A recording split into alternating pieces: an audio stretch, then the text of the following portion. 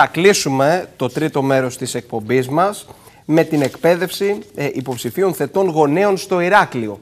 Δηλαδή άνθρωποι οι οποίοι επιθυμούν στο μέλλον να προχωρήσουν τις διαδικασίες, να, τρέξουν τη διαδικασία προκειμένου να υιοθετήσουν ένα παιδάκι. Ε, πρέπει να έχουν ευκαιρία... προετοιμαστεί κατάλληλα και είναι μια πολύ όμορφη κίνηση ε, με τη διοργάνωση της περιφέρειας. Ναι. Ε, δεν ξέρω αν έχουμε μαζί μας και την κυρία Μέρη Φραγκιουδάκη προκειμένου. Ακριβώς να μας πει περισσότερα. Είναι κοινωνική λειτουργός Διεύθυνσης Δημόσιας Υγείας και Κοινωνικής Μέρημνας ε, στην Περιφερειακή Ενότητα Ηρακλείου. Κυρία Φραγκιουδάκη, να σας καλησπερίσουμε.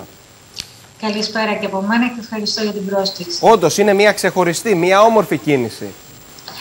Ε, η κίνηση είναι όμορφη, πάντα η επιμόρφωση είναι όμορφη, α, είναι όμως και υποχρεωτική για να προχωρήσει κάποιος στη διαδικασία της τεκνοθεσίας, όπως έχει θεσπιστεί με τον νόμο 4538 του 2018. Αποτελεί δηλαδή κομμάτι της διαδικασίας, προκειμένου κάποιος αφού ε, αξιολογηθεί, κατόπιν να επιμορφωθεί και να εγγραφεί στο Εθνικό Μητρό Υποψηφίων Θετών Γονέων ή αν έχουμε αντίστοιχο εκπαιδευτικό πρόγραμμα για τους αναδόχους, υποψηφίων αναδόχων. Είναι μέρος λοιπόν της διαδικασίας, της υποχρεωτικής διαδικασίας. Είναι το δεύτερο βήμα; Ε, είναι το δεύτερο βήμα μετά την αξιολόγηση. Ναι. ναι. ναι. Μάλιστα. Άρα στο πρόγραμμα αυτό συμμετέχουν γονείς, υποψήφιοι θετοί ναι. γονείς, προκειμένου να προχωρήσουν ένα βήμα παραπέρα και, να, και να, μπουν, να, να, να προχωρήσουν προς την ολοκλήρωση της όλης mm -hmm. διαδικασίας. Mm -hmm. Θα θέλατε να μας πείτε δύο λόγια για το πρόγραμμα, τι περιλαμβάνει, Βέβαια. τι πρέπει να γνωρίζουν, τι μαθαίνουν οι υποψήφοι θετοί γονείς. Ναι. Ακριβώς. Ναι. Λοιπόν, ε, το επιμορφωτικό πρόγραμμα έτσι κι αλλιώς έχει καταρτιστεί από το Υπουργείο. Είναι συγκεκριμένο δηλαδή, με συγκεκριμένες θεματικές ενότητες, οι οποίες είναι έξι θεματικές ενότητες ε, και διάρκειας 30 ωρών. Βέβαια, η μία ενότητα με την άλλη έχει χρονική απόσταση και αυτό έχει ε, προγραμματιστεί με τέτοιο τρόπο, ούτως ώστε οι υποψήφοι να δέχονται και να επεξεργάζονται τις πληροφορίες που μαθαίνουν μέσα από αυτή τη διαδικασία εκπαίδευσης. Φυσικά δεν είναι ένα επιμορφωτικό πρόγραμμα όπως τα συνηθισμένα, δηλαδή δεν είναι μια σχολή γονέων όπου απλά mm-hmm. ένας εισηγητής μιλάει και από κάτω οι υποψήφοι απλώς ακούν.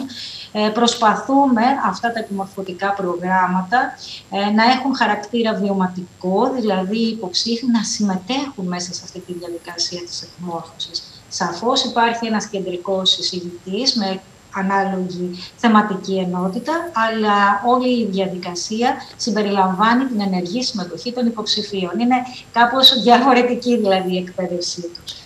Και ο στόχος είναι ποιος, να κατανοήσουν οι υποψήφοι οι γονείς; Είναι μια πολύ ωραία ερώτηση. Λοιπόν, θα μπορούσε κανείς τυπικά να αναφέρει ότι ο στόχος είναι να πάρουν τη βεβαίωση εγγραφής τους στο Εθνικό Μητρό είτε υποψηφίων θετών είτε υποψηφίων αναδόχων. Αυτό ορίζει και ο νόμος. Θα πρέπει να εκπαιδευτούν και να πάρουν τη βεβαίωση. Εμείς εδώ, σαν Περιφέρεια Κρήτης, φαντάζομαι και άλλες περιφερειακές ενότητες, ε, έχουν κατανοήσει το βαθύτερο νόημα αυτής της εκπαίδευσης, που δεν είναι άλλο από το να φροντίσει, να προσφέρει στους υποψήφιους θετούς γονείς τα εφόδια εκείνα που χρειάζονται για να αντιμετωπίσουν τον καινούριο ρόλο που έρχεται στη ζωή τους. Ε, να τους εφοδιάσουν με γνώσεις, με δυνατότητες και αυτό το στόχο έχουν κυρίως ε, τα επιμορφωτικά μας προγράμματα, να τους ε, βοηθήσουν να ισχυροποιήσουν αυτό που έχουν ήδη αποφασίσει να κάνουν. Μάλιστα, είναι μια διαδικασία όμως που, που κρατά αρκετά σε σχέση με άλλες χώρες στην Ευρώπη.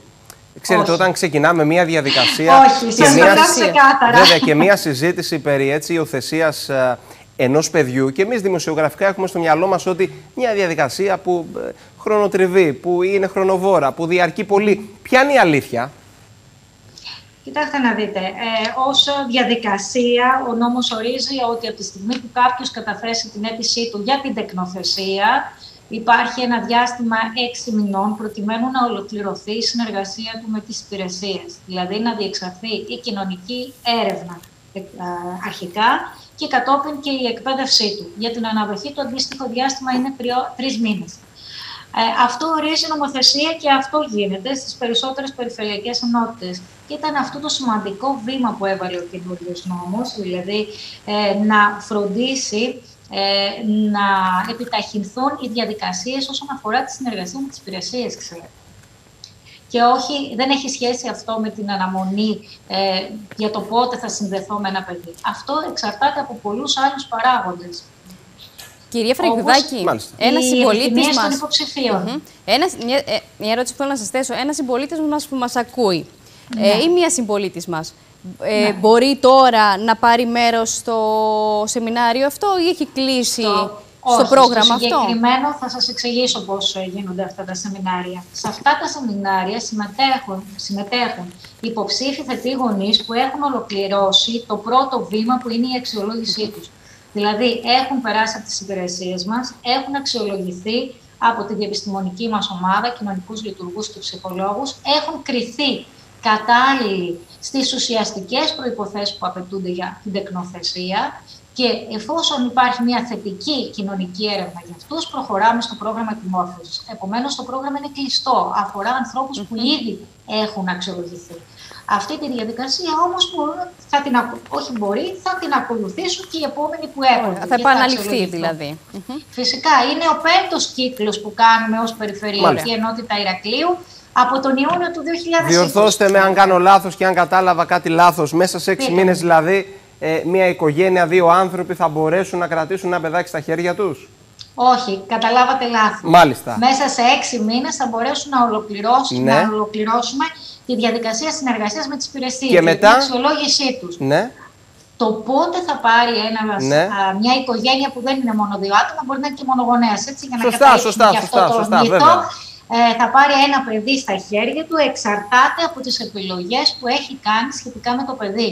Δηλαδή, αυτό μπορώ να σας το πω πιο ξεκάθαρα, με ναι. την ότι στο τέλος της κάθε συνεργασίας που έχουν με τους υποψηφίους, συμπληρώνουν ένα ερωτηματολόγιο σχετικά με το πώς επιθυμούν να είναι αυτό το παιδί και φυσικά όχι με τα εξωτερικά του χαρακτηριστικά, αντιλαμβάνεστε τι λέω, φύλλο, ηλικία, υγεία κλπ. Ανάλογα λοιπόν με τις επιλογές που κάνει ο καθένας από τους υποψηφίους, ε, αυξάνει ή μειώνει το διάστημα mm-hmm. αναμονής του. Δεν έχει να κάνει αυτό με το εξάμεινο της συνεργασίας με τις υπηρεσίες. Μάλιστα, μάλιστα. Ε, εδώ να δώσουμε ένα άλλο μήνυμα, αν μου επιτρέπετε. Βέβαια. Είναι ότι ε, επειδή ο κόσμος στο νου του έχει συνήθως μωρά εγκαταλελειμμένα στα νοσοκομεία ή ορφανά παιδιά, σημαντικό είναι να τονίσουμε το γεγονός πως τα περισσότερα παιδιά που αυτή τη στιγμή προωθούνται προς υιοθεσία ή προς αναδοχή είναι παιδιά άνω της ηλικίας των 6 ετών που βρίσκονται στους συντρεματικούς χώρους.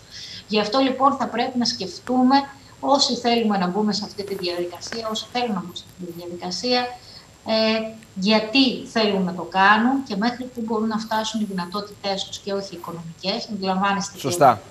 Και πολύ καλά κάνετε και το αναφέρετε. Κυρία Φραγιουδάκη, να σας ευχαριστήσω θερμά. Μας λύσατε πολλές απορίες και καταρρύψατε και μύθους η αλήθεια είναι.